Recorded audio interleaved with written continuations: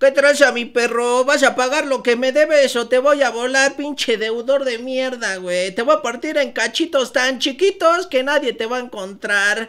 Porque estabas bien chingón pidiendo dinero sabiendo que eres un arrastrado mendigo pobretón que no tiene para pagar. Esas palabras son las que utiliza para cobrarme mi mamá. Lo bueno que mi mamá nunca me cobra porque no tengo deudas con ella, porque no tengo mamá. Pero también podrían ser las que utilizaban los miembros de varios call centers que ya fueron suspendidos y no me refiero a los call centers de Electra y Banco Azteca que en algún momento fueron clausurados pero por otro motivo.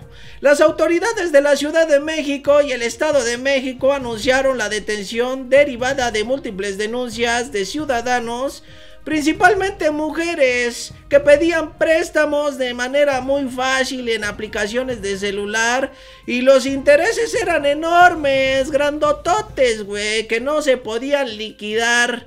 Y cuando pues algunos sí terminaban de pagar su deuda, aún así le seguían cobrando.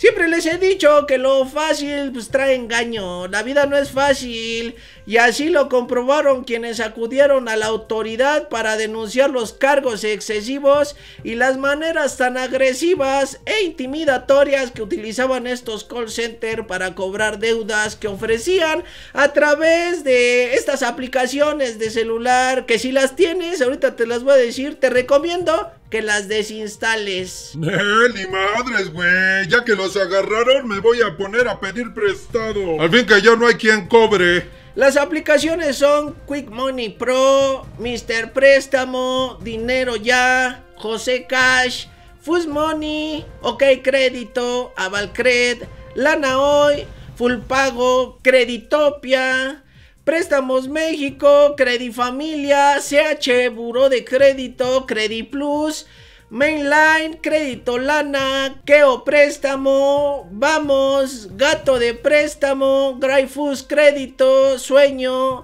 Limón Cash y Guayaba Cash. También, ¿quién se le ocurre pedir dinero con esos nombres? En la Ciudad de México fueron detenidas 27 personas en 5 inmuebles en las alcaldías Cuauhtémoc y Benito Juárez.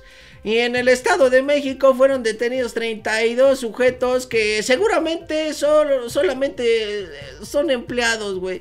Gente desesperada que buscaba chamba, que buscaba trabajo y encontraron esto.